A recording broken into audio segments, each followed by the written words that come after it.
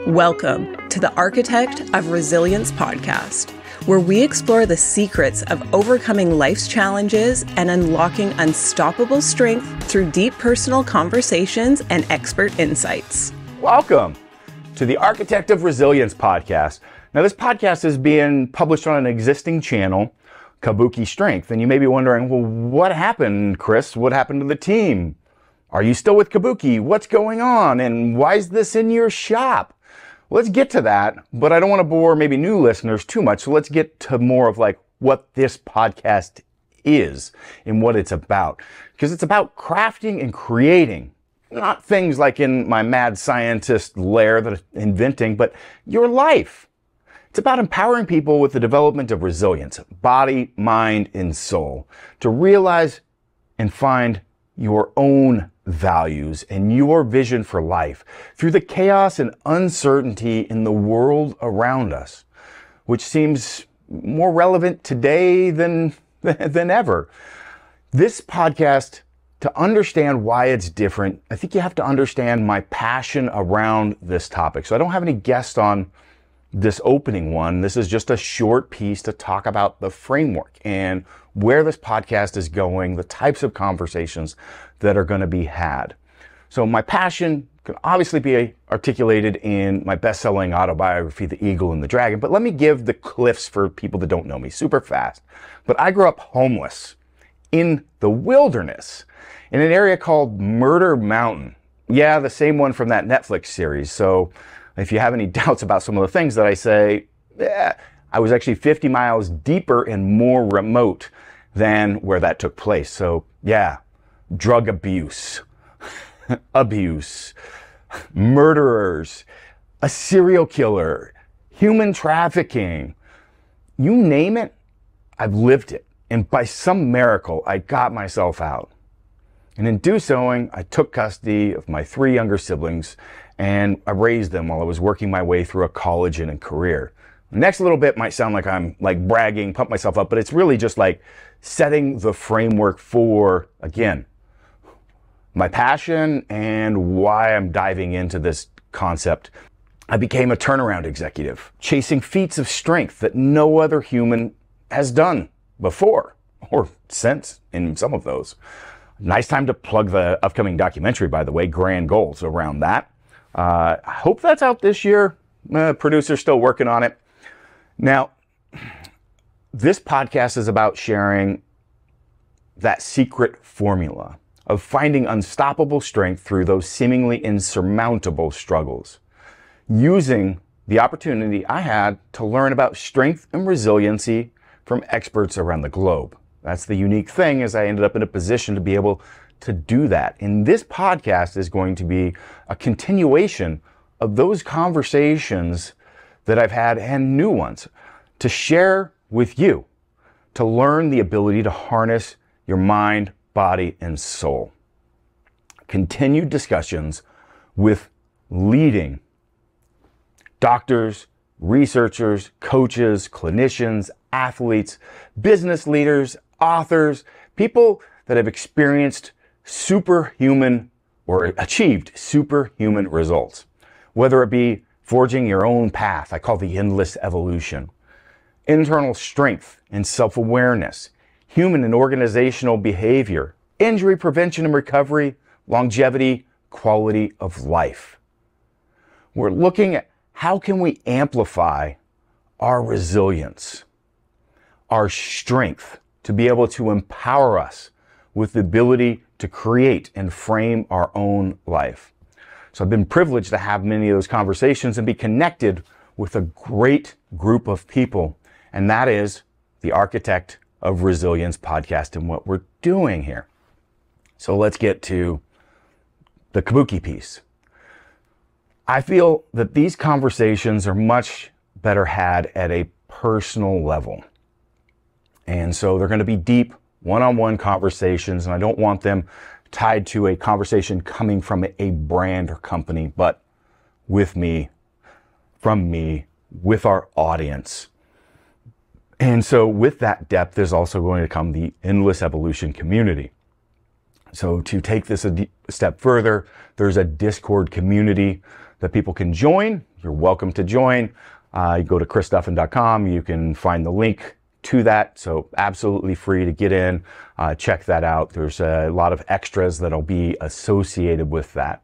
And everything around that endless is around physiological amplification or the mental amplification. A lot of stuff plays a role into uh, leadership and how you, and leadership doesn't mean like, you know, owning a company necessarily, but leadership in your own life, your family, being able to have tough conversations and move that forward.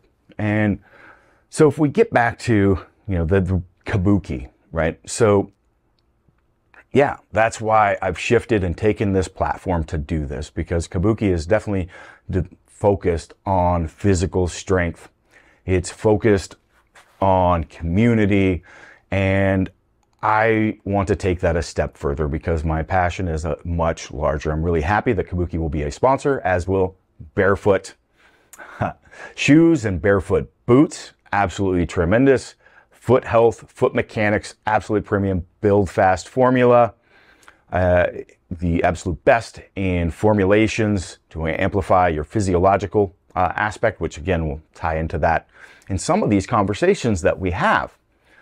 So those are the existing title sponsors of this, but this podcast is me. And there's going to be conversations that are out there in depths of areas that probably are not appropriate to be necessarily associated with, you know, a brand. And so I think that this platform has allowed me to do that and really just do it from a focus of what I personally want to explore and go.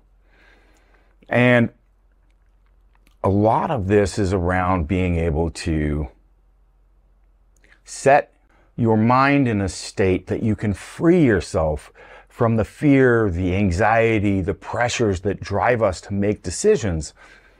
And I reflect on, you know, the opening chapter of my book when I was six years old and I was holding that rattlesnake in my hand. And that rattlesnake was wrapping around my arm and just that slithery cold feeling. And you could look down into the eyes of that beast. Beast may not be the accurate word, but that being wanted to do nothing more than strike and kill me. And I learned more in that moment about fear to impact my life in a positive manner because when you're staring at that and understanding, I was taught how to capture and handle live rattlesnakes at this age because that's there was a lot of rattlesnake dens around our camp where we were out in the forest. And so I knew how to chase them out from under the bush with a, a, a stick if you heard the rattle. I had my little brother with me and get them to strike, and then you could take the fork of the stick and get them, and then you'd pick them up behind the, behind the head. Why? So we could kill it, eat it, skin it, sell the skins later. But the thing with fear is it can paralyze you it can stop your mind from working and put you in a state where you can't make decisions. And so you need to be able to control fear. And it is definitely not the no fear mentality. Fuck that. I'm sorry. that is just, that is another way for death. If you don't respect fear and use that to identify it, is there for a reason. But our response to that and how we manage that is really important. And I see so many people and myself through the course of my life where I have let that create this lens, and particularly around being in a moment of having a lot of things, right? Not maybe physical things, a moment in life, a career, a relationship, so much. And taking and looking at that from a set of how do I not lose this?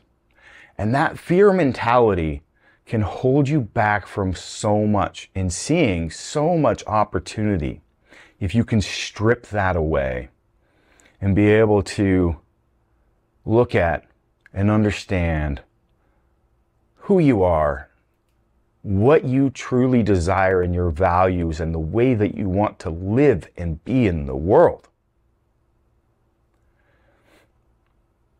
and the opportunities that are out there and the different paths that you can realize that, that you can make change in this world and impact it in the way that you want. Maybe even leave a legacy. But we lose it because of this. We're operating in this fear mentality of how do I not lose what I have instead of realizing the past has happened. It's in the rearview mirror. Nothing can take away what you've lived, what you've learned, what you've earned. It's in the rearview mirror. It cannot be taken. You need to be focused looking out the front windshield of life, of your car, to realize that if you're looking in the rearview mirror, that's what you're going to see is the past. How do I not get hit by that car? Maybe good to glance back there to be reflective. But we need to look at those opportunities and then understand, oh, there's a million things that I didn't see. And I have what I have to leverage. But what I can do is now use everything that I have. That's an awesome resource. Maybe you go another direction. Maybe you stay the course. But opening your eyes to that, and I think that's a great introductory lesson for, for people is to take this exercise this next week as you digest this podcast and think about what would I do if I was at ground zero, I was plucked up, dropped in another spot, and had to make my way to build my life, to build my relationships, to build uh, a career, to build resources.